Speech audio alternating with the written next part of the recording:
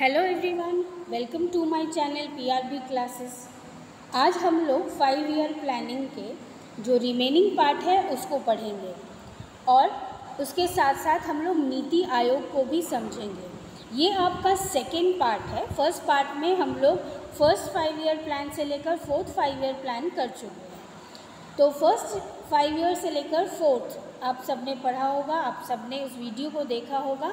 आगे हम लोग बढ़ते हैं। जहाँ पर हम लोग अब करेंगे, सीखेंगे फिफ्थ फाइव ईयर प्लान के बारे में। फिफ्थ फाइव ईयर प्लान जिसका ड्यूरेशन था 1974 से लेकर 1979 तक। आप सबको पता होगा, इस समय हमारे प्रधानमंत्री कौन थे? श्रीमती इंदिरा गांधी।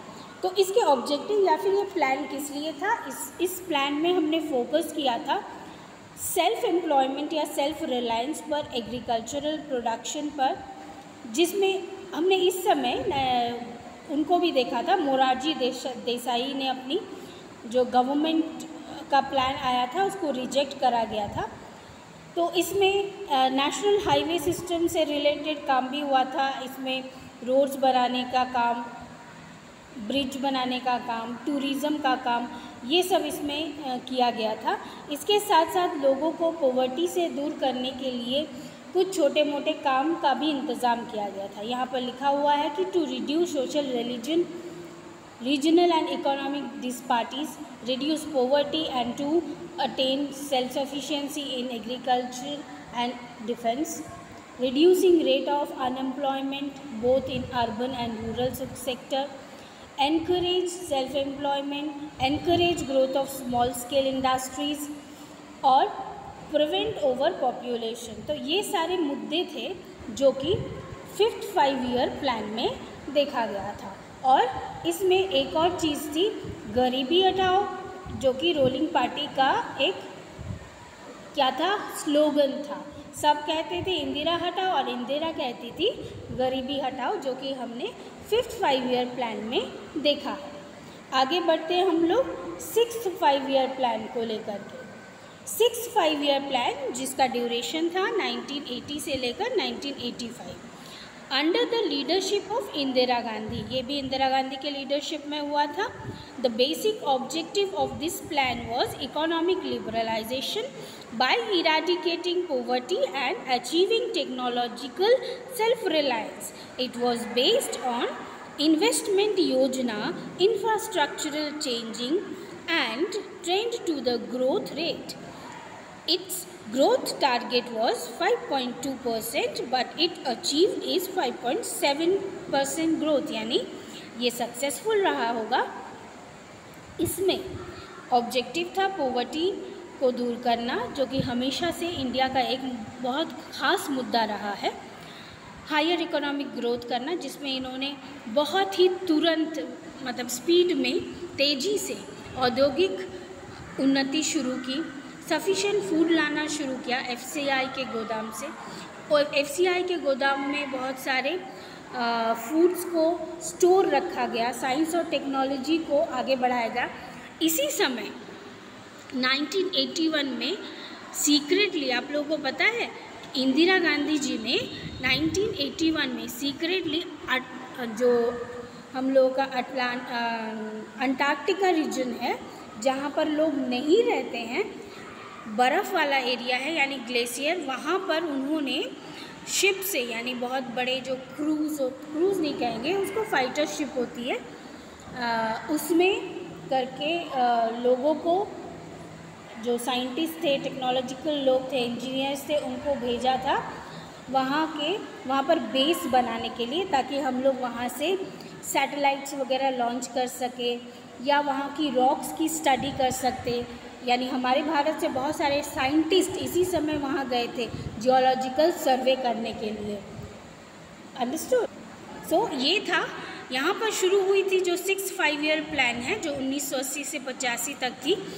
यहाँ पर इकोनॉमिक लिबरलेशन हुआ था लिबरलाइजेशन हुआ था employment generation and removal of poverty ये सारी स्ट्रैटेजीज़ या पॉलिसीज़ बनाए गए थे जिनके लिए बहुत सारे स्ट्रैटेजीज़ भी बनाए गए थे।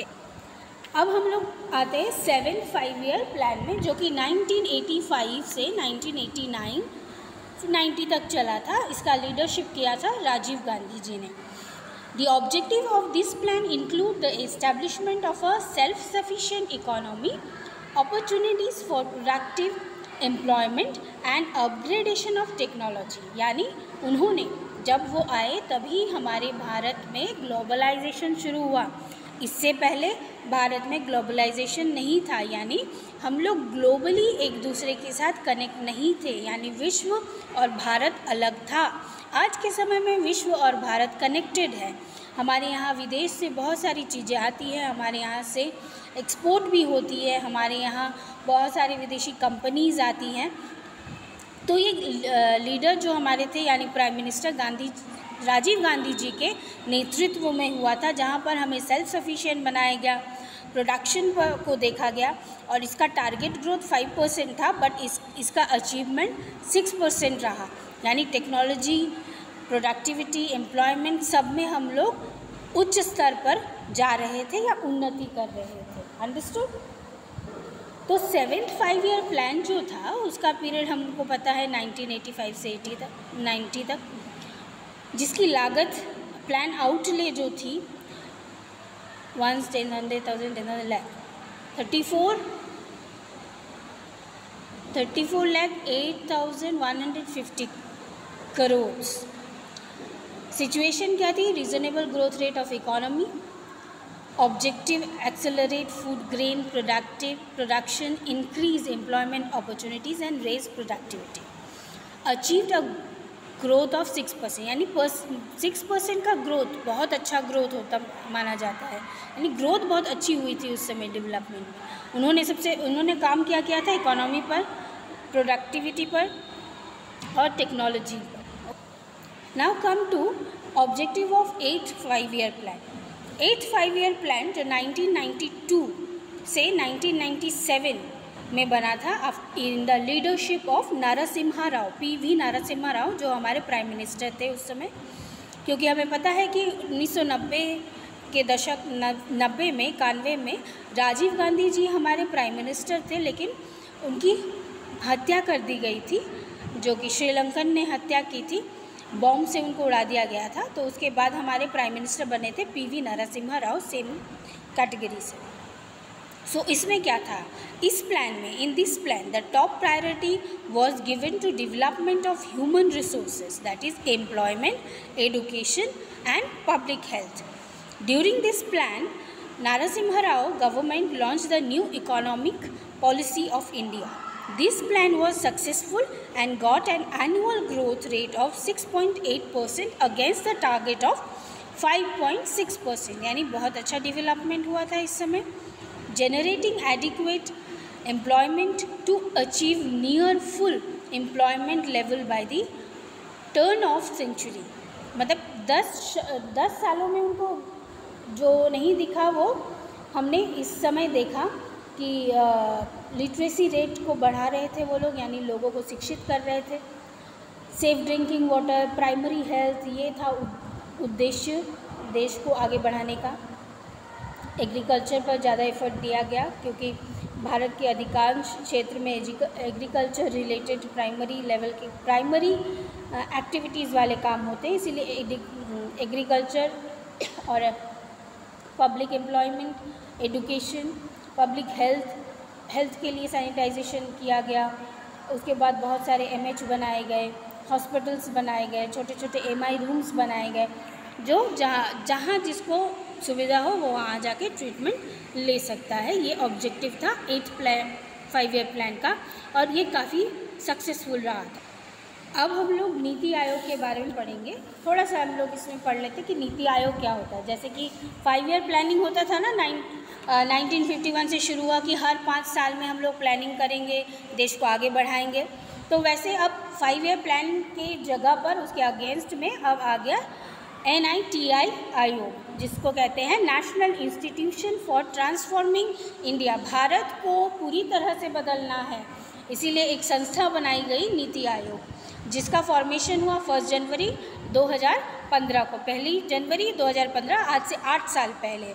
किस लिए? To evolve a share vision of national development priority sectors and strategies with the active involvement of states इसमें स्टेट्स भी इन्वॉल्व रहेंगे। ऐसा नहीं कि केवल मात्र सेंट्रल गवर्नमेंट ही काम करेगी। प्लानिंग कमीशन जो कि 1900 1951 से शुरू हुई थी, अब वो डिज़ोल्व हो गई है। ठीक है?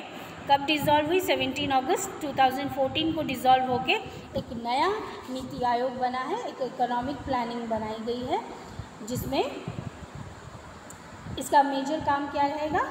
Ayog was a setting up Niti Ayog was a major step away from the command economy structure adopted by India till 1991. The Planning Commission's top-down model of development had become redundant due to present economic conditions and Niti Ayog approaches economic planning in a consultative manner with input from various state governments and think tanks. यानी सारे, क्योंकि आप लोग अच्छे से जानते हैं कि भारत एक फेडरल राष्ट्र है फेडरल कंट्री है। तो फेडरल कंट्री का मतलब है स्टेट और सेंट्रल गवर्नमेंट को हाथ मिला के काम करना है। तो इसमें सेंट्रल गवर्नमेंट और स्टेट गवर्नमेंट दोनों का ही इन्वॉल्वमेंट रहेगा नीति आयोग में। दोनों एक दूसरे से बातचीत करके ही आज के बाद क्या करेंगे? यानी 2015 जब से ये लागू हुआ, तब से दोनों ही अपने देश, राज्य, अपने समाज को आगे बढ़ाने के लिए कोशिश करते रहेंगे और तरह तरह के प्लान बनाएँगे। इसके चार मेन हेड्स हैं।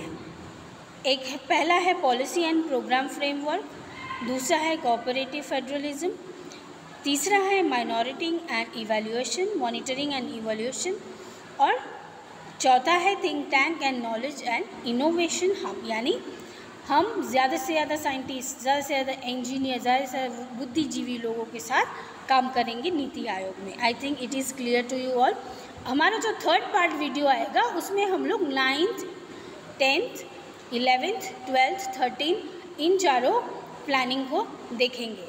अंडरस्टूड आज के लिए इतना ही। Thank you all of you और मेरे चैनल को ज़रूर सब्सक्राइब कीजिए तो आपको इन विषयों पर जानकारी मिलती रहेगी। धन्यवाद।